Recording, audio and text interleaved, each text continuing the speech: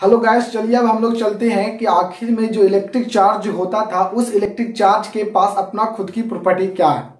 मैं आपको इस बात को याद दिला दूँ कि इसके पिछले वीडियो में आप लोग को मैं बताया था कि आखिर में इलेक्ट्रिक चार्ज जो और किसी भी बॉडी में पाए जाने वाला मास के बीच में, दोनों के बीच में क्या डिफरेंस थी। मैंने आपको बताया था कि किसी भी बॉडी में जो क्या होती है, किसी भी बॉडी का जो मास होती है, वो उस बॉडी का या उस ऑब्जेक्ट का या उस सब्टांस का क्या होती है, एक प्रकार की अपना खुद की फंडामेंटल प्रॉपर्टीज़ होती है, जिसे एंट्रेसिक प्रॉपर्टी के नाम से जाना जाता है। ठीक उसी प्रकार से चार्ज भी किसी भी बॉडी पर हो सकता है। चाहे वो नेगेटिव चार्ज होगा या पॉजिटिव चार्ज होगा या फिर उस बॉडी पर ज़ीरो चार्ज होगा। डेट मीन्स न्यूट्रल होगा। यानी कहने का मतलब है कि आखिर में अगर कोई बॉडी के पास खुद का चार्ज है, यानी कि उसके पास खुद का अपना fundamental that means basic property है तो उस बेसिक प्रॉपर्टी का नाम जो पड़ता है इंट्रेसिक प्रॉपर्टी पड़ता है। जो मैंने आपको बताया था, यानी कि चार्ज की बात करिए, चाहे मास की बात करिए। मास भी अपने मास भी मास जो होता है वो किसी भी ऑब्जेक्ट का अपना खुद का फंडामेंटल प्रॉपर्टीज़ होता है। और चार्ज भी किसी भी बॉडी पर हो, जो होगा वो अपना खुद का फंडामेंटल प्रॉपर्टीज़ होगा जिसे इंट्रेसिक प्रॉपर्टी कहा जाता था। इंट्रेसिक प्रॉपर्टी इंट्रेसिक प्रॉपर्टी वो प्रॉपर्टी होता है जो किसी भी सब्टांस के पास अपना खुद का प्रॉपर्टी होता है। फंडामेंटल प्रॉपर्टी होता है। उसी को इंट्रेसिक प्रॉपर्टी होता है। फिर भी मैंने क्या किया था? मास मास एंड ऑब्जेक्ट, मास और उसके साथ साथ मैं चार्ज के बीच में डिफरेंस आप लोग को बताया था। तो लेकिन हम लोग अब इस वीडियो में जानेंगे कि आखिर में जो इलेक्ट्रिक चार्ज होती है, वो किसी भी बॉडी का, या फिर किसी भी बॉडी का वह बेसिक या फिर फंडामेंटल जिसे इंट्रेसिक प्रॉपर्टी कहा जाता है तो आखिर में इसकी, किसी भी चार्ज बॉडी के पास आखिर में कौन कौन सी अपना खुद की प्रॉपर्टी होगा? मैं उसके बारे में आपको इस वीडियो में बताऊँगा। तो चलिए, चलते हैं उसके तरफ़। देखिए तो सबसे पहले आखिर में इलेक्ट्रिक चार्ज की प्रॉपर्टी क्या होता है? तो देखिए, मैंने लिखा हूँ क्या? कि इलेक्ट्रिक चार्ज जो होता है वो किसी भी बॉडी पर नेगेटिव भी हो सकता है पॉजिटिव भी हो सकता है और ज़ीरो भी हो सकता है। पर सवाल यहाँ पर यह क्रिएट होता है कि आखिर में किसी भी बॉडी पर नेगेटिव चार्ज कब होगा? किसी भी बॉडी पर पॉजिटिव चार्ज कब होगा? और कोई बॉडी पर ज़ीरो गुलाम यानी कि ज़ीरो चार्ज कब होगा? तो जैसा कि मैंने आपको बताया था, देखिए आपको देखिए, बताए थे। कोई भी बॉडी पर नेगेटिव चार्ज कैसे आता है? पॉजिटिव चार्ज कैसे होता है? बड़ा ही सिंपल से, देखिए। देखिए, अगर मान के चलो कोई एक बॉडी है, ठीक है? एक बॉडी है, मान लीजिए कि न्यूट्रल बॉडीज है, ठीक है ना? पूरा पूरा न्यूट्रल बॉडीज है। अगर ये बॉडी न्यूट्रल है दैट मीन के पास ज़ीरो ज़ीरो कुलाम है। न्यूट्रल क्यों होगा? कोई बॉडी न्यूट्रल क्यों होता है? मैं बार बार बता रहा हूँ। क्योंकि इसके पास जितना पॉजिटिव जो पॉजिटिव जो आयंस होती है, उतना नेगेटिव साइन होगा। मतलब पॉजिटिव जितना होगा, उतना नेगेटिव होगा। यानी कि प्रोटॉन्स का संख्या और इलेक्ट्रॉन की संख्या सेम होगा किसी भी बॉडी पर। जितना इलेक्ट्रॉन्स उतना प्रोटॉन्स मतलब positive charge and negative charge same तो उस बॉडी को क्या बोला जाता है? उस बॉडी को न्यूट्रल बोला जाता है। डेट मीन इसके पास ज़ीरो कुलाम है। क्योंकि पॉजिटिव नेगेटिव एक दूसरे को कैंसिल कर देता है। इक्वल होने के कारण और इस तरह से टोटल चार्ज हमें ज़ीरो मिलता है। तो देखिए, अब इसी बॉडी अगर ये बॉडी चाहेगा तो देखिए, अगर ये बॉडी क्या करता है? अपने इलेक्ट्रॉन को लॉस करता है। तो इलेक्ट्रॉन को लॉस करेगा। तो लॉस जब भी करेगा तो जब ये लॉस करेगा इलेक्ट्रॉन को तो ये क्या करेगा? इस पर पॉजिटिव चार्ज आएगा। जब इलेक्ट्रॉन्स को लॉस करेगा तो ये पॉजिटिव चार्ज हो जाएगा। दैट मीन सब ये बॉडी पॉजिटिवली चार्ज हो जाएगा। और जब ये क्या करेगा? इलेक्ट्रॉन्स को ऑब्ज़र्व करेगा। ये इलेक्ट्रॉन्स को लेगा। तो इसके पास निगेटिवली अंश ज़्यादा बढ़ेगा। तो इस कंडीशन में ये बॉडी नेगेटिवली चार्ज हो जाएगा और ये बॉडी पॉजिटिवली चार्ज होगा। मतलब जब कोई ऑब्जेक्ट जब कोई ऑब्जेक्ट अपने से इलेक्ट्रॉन्स के रिमूव करता है डेट मीन्स लॉस करता है तो उस बॉडी को कहते हैं पॉजिटिवली चार्ज हो गया। और जब किसी बॉडी पर नेगेटिवली चार्ज आती है तो हम कहते हैं कि वो बॉडी क्या किया है? वो इलेक्ट्रॉन्स को ग्रहण किया एक्सेप्ट किया गेन किया है एड किया है। जिसकी वजह से उस बॉडी पर नेगेटिव चार्ज आ गया। और जो बॉडी इलेक्ट्रॉन्स को लॉस करता है रिमूव करता है, खुद से उस बॉडी पर पॉजिटिव चार्ज आता है। और जिसके पास पॉजिटिव और नेगेटिव चार्ज दोनों सेम होता है, उसके पास ज़ीरो गुलाम होता है। तो इस कंडीशन में हम कह सकते हैं कि किसी भी बॉडी पर negative charge positive charge and zero तीनों हो सकता है। ये मेरा पहला प्रॉपर्टीज़ होता है basic property and fundamental properties of the इसका इलेक्ट्रिक चार्ज का। दूसरा दूसरा मैं आपको बता रहा हूँ चार्ज इज़ कंजर्व्ड अब चार्ज कंजर्व्ड होती है। ये कंजर्व्ड का मतलब क्या होता है? मैं आपको एक टॉपिक बाय टॉपिक करके आपको इसके बारे में जानकारी विशेष दूँगा। ठीक है? देखिए, अब कंजर्व का मतलब बस इतना समझ लीजिए कि कंजर्व का मतलब होता है ना कि किसी भी एक सिस्टम में, किसी भी एक सिस्टम में मतलब इन कहने का मतलब है सिस्टम कहने का मतलब होता है कि मान के चलिए चार्ज किसी भी बॉडी पर हमेशा कॉन्स्टेंट होता है। मतलब एक सिस्टम की आइसोलेटेड सिस्टम की बात करिए। जैसे मैं सिस्टम लीजिए सिस्टम का मतलब होता है ना जैसे मैं कहने का मतलब है। जैसे सिस्टम का मतलब होता है जैसे देखिए। एक प्रकार की मान लीजिए सिस्टम है। अब इसमें बहुत बड़ी चार्ज है। दो गुलाम का चार्ज माइनस थ्री गुलाम का चार्ज जैसे मैं मानिए प्लस टू गुलाम का चार्ज माइनस थ्री गुलाम का चार्ज ठीक है? ये कुछ बॉडी रख दिया गया। और प्लस वन गुलाम का चार्ज है। ठीक है? अब ये ये एक सिस्टम के अंदर बंद है। ये एक सिस्टम के अंदर बंद है। ये एक सिस्टम के अंदर बंद है। तो इसके अंदर जो टू कुलम चार्ज और नेगेटिव थ्री कुलम चार्ज और प्लस वन कुलम चार्ज ये जो जितनी चार्ज है ना, आप इसमें मतलब इसके पास हमेशा इस बॉडी के अंदर मतलब इस सिस्टम के अंदर चार्ज हमेशा कंजप्ट रहेगा। कहने मतलब net electric charge of the body is constant होता है। कंजप्ट का मतलब कॉन्सेप्ट समझिए। ना कभी ज़्यादा होगा, ना कभी कम होगा। मतलब कंजप्ट का मतलब होता है इलेक्ट्रिक चार्ज किसी भी बॉडी पर नहीं क्रिएट हो सकता है और नहीं डिस्ट्रोड हो सकता है।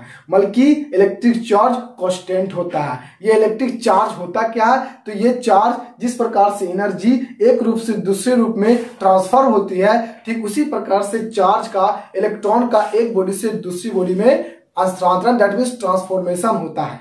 इस बात को याद रखिएगा। दूसरा चार्ज सॉरी तीसरा। चार्ज इज़ क्वांटाइज तीसरी प्रॉपर्टी चार्ज का आता है कि चार्ज क्या होती है? क्वांटाइज होती है। ये क्वांटाइज बहुत ही इंपॉर्टेंस हमारा इलेक्ट्रिक चार्ज की प्रॉपर्टीज़ है, जिससे ट्वेल्थ क्लास की यानी कि बिहार बोर्ड में बहुत बार पूछा जा चुका है। मैं इससे रिलेटेड मैं आपके वीडियो में दे दूँगा।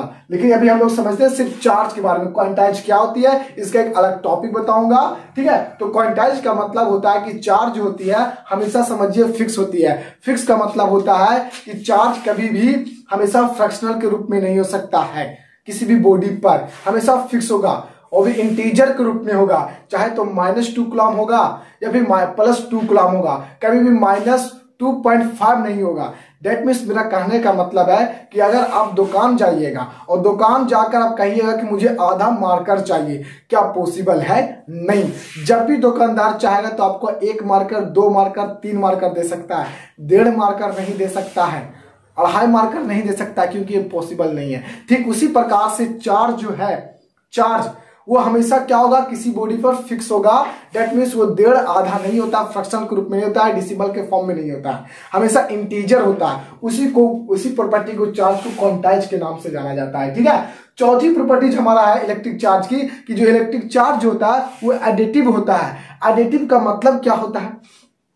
एडिटिव का कहने का मतलब है ना कि आप चाहिए तो क्या करिए, एक बॉडी पर जो चार्ज है ठीक है? बहुत सारा चार्ज दिए जैसे एक बॉडी है न्यूट्रल बॉडी उस बॉडी को पॉजिटिवली चार्ज किए नेगेटिवली चार्ज किए, फिर पॉजिटिवली चार्ज किए, फिर नेगेटिव चार्ज किए।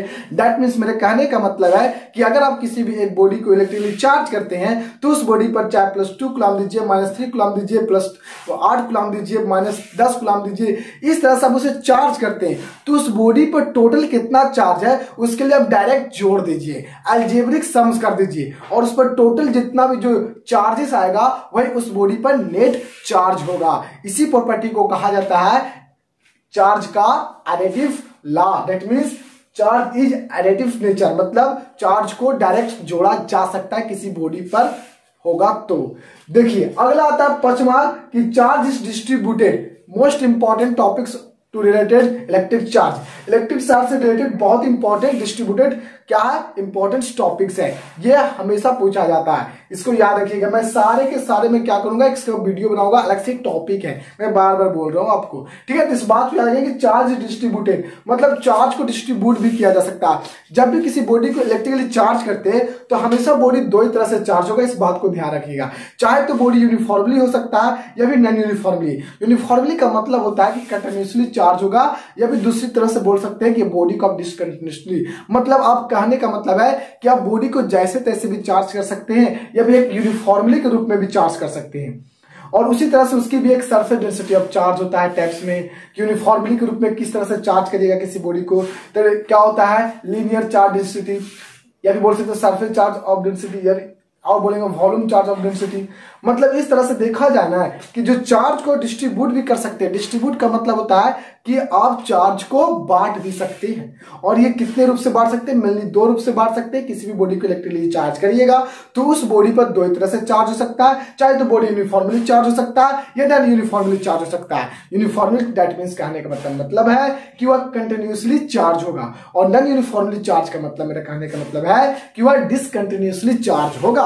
और ये होता क्या है? इसके बारे में बताऊँगा। बस आपको वेट करना है। और इस YouTube channel physics with S physics पर आपको बस ध्यान देना और ये मेरे चैनल पर सब्सक्राइब, लाइक, शेयर और कमेंट्स करना ना भूलना। है देखिए देखिए अगला आपका जो प्रॉपर्टी जाता है इलेक्ट्रिक चार्ज से रिलेटेड वो आता है कि electric charge is scalar quantity why electric charge को स्कलर क्वांटिटी क्यों कहा गया। इलेक्ट्रिक चार्ज को स्कलर क्वांटिटी क्यों इसलिए कहा जाता है ना क्योंकि सबसे पहली बात आप ये सोच सकते हैं कि जब ये चार्ज किसी भी बॉडी का क्या है, एक प्रकार की इंट्रेसिक प्रॉपर्टी है। मतलब अपना खुद की फंडामेंटल प्रॉपर्टीज़ है। तो जब ये फंडामेंटल प्रॉपर्टीज़ है तो ये सिर्फ़ सिर्फ़ और सिर्फ़ इसके पास क्या होगी? मैग्नीट्यूड होगा। कोई डायरेक्शन नहीं उसके पास होगा। तो याद रखना कि जिस फ़िज़िकल क्वांटिटी के पास ओनली फॉर मैग्नीट्यूड होती है, उसके बाद डायरेक्शन नहीं होती है तो हम कहते हैं ना कि वो फ़िज़िकल क्वांटिटी एक प्रकार की अस्कलर क्वांटिटी होती है। तो दैट मीन्स ये अस्कलर क्वांटिटी इसलिए हुआ क्योंकि इलेक्ट्रिक चार्ज पर ओनली फॉर क्या होती है? मैग्नीट्यूड होती है, इसकी डायरेक्शन नहीं होता। फिक्स नहीं है, इसकी डायरेक्शन की आखिर में बॉडी किस डायरेक्शन में चार्ज होगा? तो इस कंडीशन में इलेक्ट्रिक चार्ज को क्या कहा गया? अस्कलर क्वांटिटी कहा गया। यानी कि ये आपका प्रॉपर्टी होता है छठा अब देखिए, सप्तम प्रॉपर्टी देखिए, सप्तम पर देखिए, हमको पता है कि इलेक्ट्रिक चार्ज मेनली दो तरह की होती है, एक नेगेटिव चार्ज और एक पॉजिटिव चार्ज नेगेटिव चार्ज का मतलब होता है कि कोई भी बॉडी अगर इलेक्ट्रॉन्स को क्या करता है गेन करता है तो वो बॉडी नेगेटिव चार्ज होता है, और जब कोई बॉडी इलेक्ट्रॉन्स को लॉस करता है तो उस कंडीशन में उस बॉडी को पॉजिटिव चार्ज कहा जाता है। तो यहाँ पर लाइट चार्जेस का मतलब होता है कि सेम चार्ज पॉजिटिव तो पॉजिटिव नेगेटिव तो नेगेटिव तो same charge that means like charge तो लाइट चार्ज एक दूसरे को हमेशा क्या करते हैं? रिपेल्स करते करते हैं। दैट मीन्स एक दूसरे को विकर्षण करते हैं। विकर्षण का मतलब रिपल्सन का मतलब होता है, दूर हटते हैं। कोई भी सेम चार्ज हो, चाहे नेगेटिवली नेगेटिवली चार्ज हो, या भी पॉजिटिव पॉजिटिवली चार्ज हो, वो एक दूसरे को हमेशा क्या करते हैं? रिपल्स करते हैं। मैं आपको दिखाना चाहता हूँ। देखिए, यहाँ पर पॉजिटिव चार्ज और एक ये पॉजिटिव चार्ज दोनों सेम नेचर का है। मतलब लाइट चार्जेस इसी को कहा गया है। ये ये पॉजिटिव नेचर का और ये भी पॉजिटिव नेचर का। मतलब दोनों पॉजिटिव चार्ज हैं। देखिए दोनों पॉजिटिव चार्ज क्या करेगा? एक दूसरे को रिपेल्स करना चाहेगा। मतलब एक दूसरे से दूर भागना चाहेगा। इसी कंडीशन में बोला जाता है। इसे रिपल्सिव नेचर का नाम बोला जाता है। देखिए, ये उधर जाना चाहेगा, ये उधर। डेट मीन एक दूसरे से दूर भागेगा। क्यों? क्योंकि हमेशा इलेक्ट्रिक चार्ज की ये प्रॉपर्टी होती है कि जो इलेक्ट्रिक चार्ज होती है वह हमेशा पॉजिटिव पॉजिटिव एक दूसरे के पास नहीं आ सकते, एक दूसरे को रिपेल करते अब रिपेल करते क्यों है, इसकी जानकारी आपको ज़रूर मिलेगा। जैसे मैं आपको कहने चाहूँ तो मैं बता भी सकता हूँ तो देखिए क्या, क्योंकि पॉजिटिव चार्ज हमेशा इलेक्ट्रिक फ़ील्ड प्रोड्यूस करती है, और वो जो इलेक्ट्रिक फ़ील्ड जो प्रोड्यूस करती है, वो अपने से इन्फिनाइट की तरफ़ करती है। और जब भी उस इलेक्ट्रिक फ़ील्ड में कोई भी अलग चार्जेस की इलेक्ट्रिक फ़ील्ड चार्ज आता है तो उसी फ़ील्ड के द्वारा उस इलेक्ट्रिक चार्ज पर एक फोर्स लगता है जिसे इलेक्ट्रोस्टैटिक्स फोर्स कहते हैं। और याद रखिएगा, अगर कभी भी, अगर इलेक्ट्रिक फ़ील्ड में, अगर इलेक्ट्रिक फ़ील्ड में पॉजिटिव चार्ज चला जाता है तो उस पॉजिटिव चार्ज पर उसी डायरेक्शन में फोर्स लगता है, जिस डायरेक्शन में इलेक्ट्रिक फ़ील्ड बनता है। तो यहाँ पर देखिए पॉजिटिव चार्ज ये भी पॉजिटिव चार्ज सपोज़ कर लीजिए कि इसके द्वारा बनाया गया इलेक्ट्रिक फ़ील्ड की डायरेक्शन क्या होगी? बाहर की तरफ़ होगा मतलब इन्फिनाइट होगा। क्या होगा? इन्फिनाइट की तरफ़ जाएगा अपने से। तो अब देखिए, जब ये अपने से इन्फिनाइट की तरफ़ भेगेगा आप दूर भागेगा। मतलब फोर्स उधर लगा रहा, बाहर की तरफ़। मतलब बाहर की तरफ़ फोर्स लगाएगा। तो यहाँ पर जब कोई वस्तु आएगा तो उसको बाहर ही फेंकेगा। दैट मीन कहने का मतलब जब ये पॉजिटिवली आएगा तब, जब ये पॉजिटिवली आएगा तो ये भी दूर फेंकना चाहेगा। तो ये इसको फोर्स ये इसको फोर्स और ये एक दूसरे को रिपेल्स करता है। डेट मीन हमेशा पॉजिटिवली चार्ज एक दूसरे को रिपेल्स करेंगे, और नेगेटिव चार्ज एक दूसरे को रिपेल करेंगे। Because same charge like charge क्या करते हैं? रिपल्स टू ईच अदर अब देखिए, आठवां properties of electric charges electric charge का आठवां प्रॉपर्टी जाके अगर मान के चलिए कि सेम चार्ज एक दूसरे को रिपल्स करते हैं तो आखिर में जो चार्ज सेम ना हो डेट मीन एक नेगेटिव चार्ज हो, एक पॉजिटिव चार्ज हो तो यो दोनों एक दूसरे में क्या करेंगे? ऑफकोर्स अट्रैक्शन करेंगे, क्योंकि नेगेटिव चार्ज और पॉजिटिव चार्ज एक दूसरे को अट्रैक्शन इसलिए करते हैं ना, क्योंकि पॉजिटिव चार्ज जो इलेक्ट्रिक फ़ील्ड जो प्रोड्यूस करता है, वो इन्फिनाइट की तरफ़ करता है। ठीक है ना? और नेगेटिव चार्ज जो करता है, वो अपनी तरफ़ करता है। तो पॉजिटिव चार्ज को नेगेटिव क्या करना चाहेगा? खींचना चाहेगा अट्रैक्ट करना चाहेगा। और इस तरह से नेगेटिव चार्ज और पॉजिटिव चार्ज एक दूसरे को अट्रैक्ट करते हैं। और इस कंडीशन में इसे कहा जाता है कि नेगेटिव चार्ज और पॉजिटिव चार्ज एक प्रकार की अट्रैक्टिव नेचर का होता है, जिसे अट्रैक्टिव इलेक्ट्रोस्टेटिक्स फोर्स भी कहा जाता है। इसके बारे में भी आपको जल्द ही पता चल जाएगा, ठीक है? चलिए, अगला देखिए, जैसा कि आपको मैं फिगर दिखा दिया हूँ। क्या एक पॉजिटिव चार्ज एक नेगेटिव चार्ज एक दूसरे के पास आने के लिए क्या करेगा? आना चाहेगा, क्योंकि एक दूसरे के यहाँ पर एक फोर्स लगता है जिसे इलेक्ट्रोस्टैटिक फोर्स बोलते हैं ना। देखिए दोनों एक दूसरे का पास आना चाहेगा। इसे अट्रैक्टिव नेचर का कहते हैं ये तभी पॉसिबल जब चार्ज का नेचर अलग अलग हो डेट मीन एक पॉजिटिव चार्ज हो और एक नेगेटिव चार्ज हो। समझे? चलिए, आगे देखिए normal properties related to electric charge electric charge से रिलेटेड अब नॉर्मल प्रॉपर्टीज़ क्या होती है इसकी? देखिए नाइन नाइन प्रॉपर्टीज़ देखिए कहता है a natural body is charge by induction method conduction method and induction method conduction method दो दो कंडक्शन लिख दिए हैं। एक वो क्या होगा? एक वो होगा आपका फ्रिक्शनल मेथड कौन सी method frictional frictional method frictional method rub करके फ्रिक्शनल करके घर्षण करके किया जाता है। तीन मेथड है। किसी भी एक, किसी भी बॉडी को, किसी भी बॉडी को न्यूट्रल बॉडी को आप इलेक्ट्रिकली चार्ज कर सकते हैं। लेकिन उसके लिए आपको तीन चीज़ करना पड़ेगा। यानी कि एक न्यूट्रल बॉडी को चार्ज करने के लिए हम इंडक्शन मीटर का इस्तेमाल करते हैं कंडक्शन मीटर का इस्तेमाल करते हैं और फ्रिक्शनल मीटर का भी इस्तेमाल करते हैं। ये होता क्या? ये आपको मैं प्रैक्टिकली कम से कम आपको बहुत फील कराने का प्रयास करूँगा। ये सारा पढ़ेंगे। जितनी बताए ना कंजर्व कॉन्टाइज एडिटिव डिस्ट्रीब्यूटेड और और क्या? और ये इंडक्शन मीटर क्या कंडक्शन मीटर क्या फ्रिक्शन मीटर क्या, इस सब के बारे में आपको वीडियो में lecture by lecture topic by topic आपको अपलोड करते रहूँगा। आप वहाँ पर जाकर देख सकते हैं। मैं सारा का सारा, मैं प्लेलिस्ट में जाकर जमा कर दूँगा, ठीक है? शेयर कर दूँगा। तो देखिए, आखिर में ये किसी भी इलेक्ट्रिकल बॉडी को मतलब कहेंगे एक न्यूट्रल बॉडी को इलेक्ट्रिकली कैसे चार्ज कर सकते हैं? तो तीन मेथड है conduction induction and frictional friction का मतलब होता है कि आप दो बॉडी को रखिए, जो दोनों बॉडी एक दूसरे को न्यूट्रल है। जब उसमें आप क्या करिएगा, एक दूसरे को फ्रिक्शनल करिएगा, घर्षण करिएगा तो क्या होगी ना, वो चार्ज हो जाता है। डेट मीन इस बॉडी के पास क्या होता है ना, कि इस बॉडी के पास इलेक्ट्रॉन्स आने की वजह से ये हीट पैदा करता है। यानी कि ये बॉडी चार्ज हो जाता है, समझे? हाँ दूसरा मैं शॉर्ट में बताना चाहूँगा कि कंडक्शन मेथड क्या होता है? कंडक्शन मेथड में होता क्या था ना, कि ये किसी भी एक चार्ज बॉडी को, किसी भी एक चार्ज बॉडी को क्या किया जाता है? अनचार्ज बॉडी के पास ले जाया जाता है। मतलब इतना आसपास कि दोनों एकदम कनेक्ट कर दिया जाता है। और कनेक्ट करने मतलब कि अनचार्ज जैसे कहने का मतलब है, ये चार्ज बॉडी ये अनचार्ज बॉडी दोनों के एक दूसरे को चिपकाइए। तो होगा क्या है कि इसके चार्ज होने की वजह से अनचार्ज बॉडी पर चला जाएगा और इस तरह से फिर अलग कर लिया जाता, फिर अनचार्ज बॉडी भी चार्ज हो जाता है। मतलब कंडक्शन का मतलब टैच कराकर। इंडक्शन का मतलब टच नहीं कराना। बिना टच करे भी बॉडी चार्ज हो जाता है क्या पॉसिबल है? है। अब ये कैसे पॉसिबल है? ये सब के बारे में आपको धीरे धीरे पता चल जाएगा। ठीक है? देखिए अगला दसवां प्रॉपर्टीज़ आपको इलेक्ट्रिक चार्ज से आता है कि positively charge body produce electric field around to its along the infinite and negatively charge body produce electric field around the to its uh, around two its uh, along the it from infinite मतलब नहीं समझे। मतलब समझिएगा। कहता है कि अगर कोई चार्ज पॉजिटिवली हो तो उस पॉजिटिवली चार्ज के द्वारा जो इलेक्ट्रिक फ़ील्ड जो प्रोड्यूस करता है अपने चारों तरफ़, वो हमेशा इन्फिनाइट की तरफ़ करेगा। अपने से इन्फिनाइट की तरफ़। मतलब कि पॉजिटिवली चार्ज के द्वारा अपने तरफ़ क्रिएट की गई इलेक्ट्रिक फ़ील्ड की जो डायरेक्शन होती है, वो अपने से बाहर की तरफ़ होती है। मतलब वो हमेशा क्या होती है? इन्फिनाइट तरफ़ जाना है। मतलब आपको मैं एगो फील कराना चाहता हूँ। फिल का मतलब ध्यान से सुनिएगा। मान के लिए ठंडे की मौसम है। ठंडे की मौसम में आप क्या करते हैं? कहीं ना कहीं जाकर आग क्या हो? जल रहा हो। आप उसके पास जाते हैं। उसके पास जाते हैं तो आखिर में आपको गर्मी क्यों लगता है? क्यों? क्यों गर्मी लगता है? क्योंकि आग से क्या होता है ना, आग से पॉजिटिवली चार्ज बाहर की तरफ़। यानी कि वहाँ की जो एनवायरमेंट जो होती है एनवायरमेंट वो पूरा का पूरा क्या होती है हॉटर हो जाता है हॉटर एनवायरमेंट हो जाता है। मतलब पूरा गर्म हो जाता है।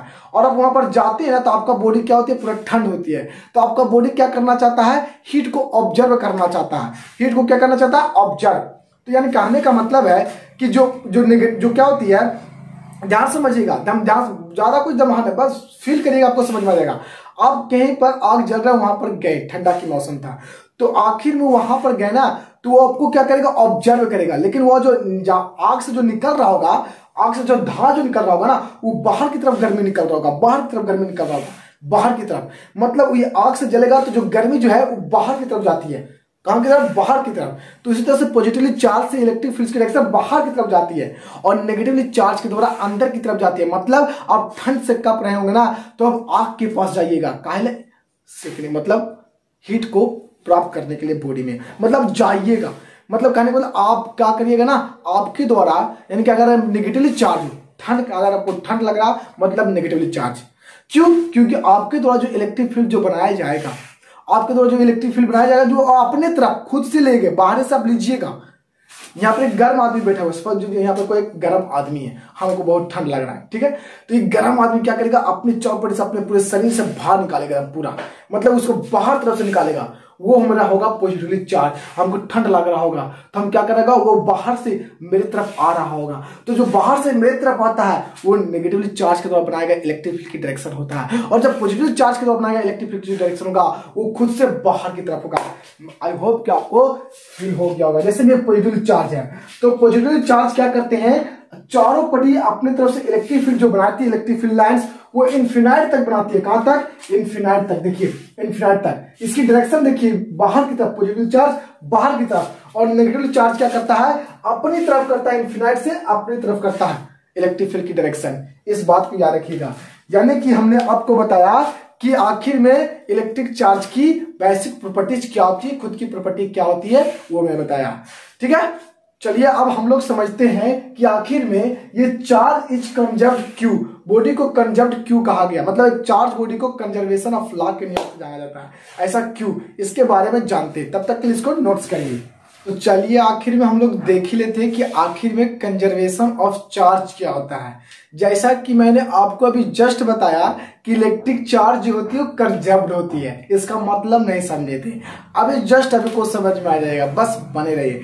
देखिए कंजर्व्ड का मतलब होता है कि कॉन्स्टेंट कंजर्व्ड बदलेगा नहीं और हमेशा कभी निर्माण भी नहीं होगा और ना ही कभी खत्म होगा। उसी को कंजर्व्ड करते हैं। कंजर्व्ड का मतलब यहाँ पर इलेक्ट्रिक चार्ज कंजर्व्ड का मतलब ये समझना कि अगर कोई एक सिस्टम है और उस सिस्टम के अंदर बहुत सारा चार्ज रखा हुआ है चाहे उसे किस तरह से भी कर रहे हैं, उसके अगर मान लीजिए चार, मान चलिए एक सिस्टम लीजिए, एक सिस्टम उस सिस्टम एक, दो, तीन, चार, पाँच, छह, सात, बहुत सारे अलग अलग टाइप्स के चार्ज रखा हुआ है। अब उस सारे चार्ज के बीच में किसी तरह से मिल जाने के कारण सारे बॉडी पर अलग अलग चार्ज आ गए। तो क्या उस बॉडी के पास नया चार्ज बन गया? क्या उस पूरे सिस्टम में पहले से ज़्यादा चार्ज है? क्या उस पूरे सिस्टम में पहले से कम चार्ज है? तो ऐसा नहीं। देखिए, एक बॉडी से दूसरी बॉडी में चार्ज का कम बेसी तो हो सकता है। लेकिन याद रखना कि इस पूरे सिस्टम में कि चार्ज कभी भी ना, ज़्यादा ना, कभी कम हो सकता है। ये याद रखिए बात को। अदला बदली हो सकता है, कम बेसी हो सकता है कि बॉडी के पास चार्ज लेकिन एक पूरे सिस्टम में टोटल चार्ज कभी भी नहीं बदल सकता। इसी को कंजर्वेशन ऑफ़ चार्ज के नाम से जाना जाता है। आपको फील होगा एक एग्जांपल के साथ। देखिए, मैंने एक आइसोलेटेड सिस्टम मान लिया, ठीक है? अब इस आइसोलेटेड सिस्टम में एक तनहाई में क्या है? दैट कहने का मतलब बंद रूम में एक प्रकार की मैंने एक अलग अलग प्रकार की चार्ज रखा हूँ, जो कि एक सिस्टम के अंदर है minus three coulomb plus six coulomb plus two coulomb and minus five coulomb अब इस किसी कारण बस मान के चलो इसको फेंट दिया गया। तो फेंट देने के बाद ये कुछ इस तरह से बन गए इस सिस्टम में। ये चार बॉडी ये था, इसके पास अब मानिए चलो फाइव गुलाम प्लस में आ गया, इसके पास प्लस टू गुलाम आ गए, अब इसके पास माइनस थ्री गुलाम आ गए। तो आप लोग को यह बताना है कि आखिर में इसके पास कितना गुलाम होगा, इस बॉडी के पास? तो हमने क्या बताया कि किसी भी एक सिस्टम के अंदर चार्ज हमेशा कॉन्स्टेंट होगा। इसके अंदर जितना चार्ज होगा, उसी के अंदर इसका भी टोटल चार्ज होगा। मतलब तो हमने क्या बताया, इस सिस्टम में जो टोटल चार्ज होगा, इस सिस्टम में टोटल चार्ज के बराबर होगा। तो आखिर इस सिस्टम में टोटल चार्ज कितना है? तो देखिए मैंने बताता हूँ। देखिए देखिए, इसको क्या करिएगा minus three coulomb plus six coulomb plus two coulomb और माइनस फाइव गुलाम बराबर। ये पूरा सिस्टम में coulomb charges plus five coulomb उसके बाद प्लस टू कुलाम उसके बाद माइनस थ्री कुलाम और उसके बाद क्या निकालना है? ये लिखना है। इसको मान लीजिए क्यू तो आखिर में ये कितना चार्ज होगा? ताकि इस सिस्टम की टोटल चार्ज इस सिस्टम की टोटल चार्ज के बराबर हो। तो आप यहाँ से निकाल सकते हैं। देखिए माइनस में आठ हो जाएगा और टोटल कितना हो जाएगा? आठ हो जाएगा। फिर पूरा का पूरा कट जाएगा। तो इस तरह से यहाँ पर कितना आएगा? बराबर ज़ीरो बराबर। पाँच दो सात। और सात में से जाएगा तीन तो चार कुलाम आएगा। प्लस में क्यू तो क्यू बराबर कितना जाएगा? माइनस चार कुलाम यानी कि इस सिस्टम का जो चार्ज आएगा, वो माइनस चार कुलाम चार्ज आएगा। ताकि इस सिस्टम में जो टोटल जो चार्ज होगा, इस सिस्टम के टोटल चार्ज के बराबर होगा। क्योंकि इलेक्ट्रिक चार्ज कंजप्ट का मतलब होता है कि एक सिस्टम में, एक तनहाई में, एक रूम में टोटल चार्ज हमेशा सेम होगा। अलग अलग बॉडी पर चार्ज अलग अलग आ सकता है इलेक्ट्रिकली चार्ज करने के दौरान। लेकिन एक सिस्टम के अंदर चार्ज हमेशा क्या रहेगा? इक्वल रहेगा डेट मीन कॉन्स्टेंट रहेगा। ऐसे भी आप समझ सकते हैं जैसे देखिए, इस तरह से भी आप समझ सकते हैं। देखिए, इस तरह से भी। मान लीजिए कि आप क्या करिए ना, आप एक मान लीजिए यहाँ पर ही, एक आपने क्या लिया ग्लास ले लिया। जैसे मैं, मैंने ग्लास का टुकड़ा ले लिया। ठीक है ना? मैंने ग्लास ले लिया ग्लास का एक पार्ट ले लीजिए ग्लास ले लिया। ठीक है? और एक सिल्क ले लीजिए, एक सिल्क एक सिल्क क्लोथ ले लीजिए। एक सिल्क क्लोथ ले लिया। ठीक है? ये क्या हो गया? सिल्क क्लोथ हो गया समझ लीजिए अब देखिए, इस सिल्क क्लोथ पर क्या हुआ? सिल्क क्लोथ हो गया, जैसे रेशम का कपड़ा और ये ग्लास हो गया। अब क्या जाए देखिए, ये जो ग्लास जो होगा और जो सिल्क जो होगा, इस पर दोनों पर टोटल कितनी चार्ज होगा? ज़ीरो गुलाम इसमें भी ज़ीरो गुलाम होगा। होगा कि नहीं? लेकिन आप देखिए, अब क्या करते हैं ना, कि कुछ इन दोनों के बीच में फ्रिक्शनल लगाते हैं। मतलब एक दूसरे में क्या करते हैं? फ्रिक्शन करते हैं, थोड़ा घर्षण करवाते हैं। तो फ्रिक्शन करवाने के बाद, घर्षण करवाने के बाद एक दूसरे में इस पर रब करने के बाद होगा क्या? होता क्या कि जो ग्लास की जो कुछ पार्टिकल्स होती है, जो चार्ज होते कुछ इलेक्ट्रॉन जो होती है, वो सिल्क क्लोथ पर चला जाता है। यानी कि मान लीजिए कि इसके से क्या होगा? इस पर पाँच इलेक्ट्रॉन्स इस पर चला गया। तो जो जो ऑब्जेक्ट क्या करता है? इलेक्ट्रॉन्स को गेन करता है, उस पर नेगेटिवली चार्ज नेगेटिवली आंसर है। मतलब इस पर मान लीजिए ना, इस क्लोथ पर माइनस का पाँच बार आया? मतलब माइनस माइनस पाँच इलेक्ट्रॉन्स आया। माइनस पाँच इलेक्ट्रॉन्स दैट मीन माइनस पाँच गुलाम होगा और वो नेगेटिवली होगा। और ये क्या क्या होगा? ये ग्लास इसको ग्लास क्या क्या होगा? पाँच इलेक्ट्रॉन्स दिया। मतलब पाँच गुलाम के चार्ज इसको दिया, मान लीजिए। पाँच मतलब पॉजिटिवली चार्ज ये पाल त्यागेगा। ना? इस पर ये प्लस फाइव गुलाम इस पर आएगा। कितना? प्लस फाइव गुलाम तो इस तरह से दोनों बॉडी के टोटल चार्ज कितना निकालिएगा? तो प्लस फाइव गुलाम और प्लस माइनस पाँच गुलाम और इस कंडीशन में टोटल गुलाम जो होगी ज़ीरो गुलाम होगा। यानी कहने का मतलब है, एक सिस्टम में अगर बात की जाए, दोनों मिलाकर जो सिस्टम बनेगा, ये दोनों जो सिस्टम में जो टोटल चार्ज पहले ज़ीरो गुलाम था और अब भी ज़ीरो गुलाम है। यानी कहने मतलब एक चार्ज बॉडी पर क्या होगा, एक बॉडी से दूसरी बॉडी में ट्रांसफ़र तो हो सकता, बस उसी दोनों बॉडी से बनने वाला सिस्टम के अंदर टोटल चार्ज हमेशा ज़ीरो होगा। और इसी को बोला जाता है क्या conservation of electric charge I hope कि आपको ये वीडियो पसंद आया होगा। ठीक है? तो अगर आपको वीडियो पसंद आता है तो आप लाइक करिए सब्सक्राइब करिए कमेंट्स करिए और शेयर करना ना भूलना। ठीक है?